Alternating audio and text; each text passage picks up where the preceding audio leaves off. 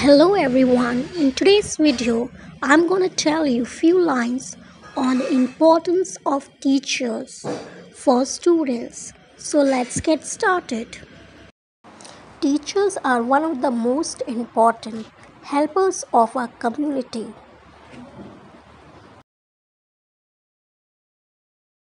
They educate and guide children and help them to become responsible citizens of the country. They are the ultimate role models for the students.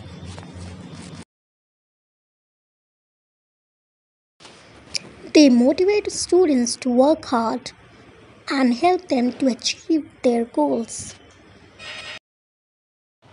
Teaching is a noble profession, and being a teacher is respected by all.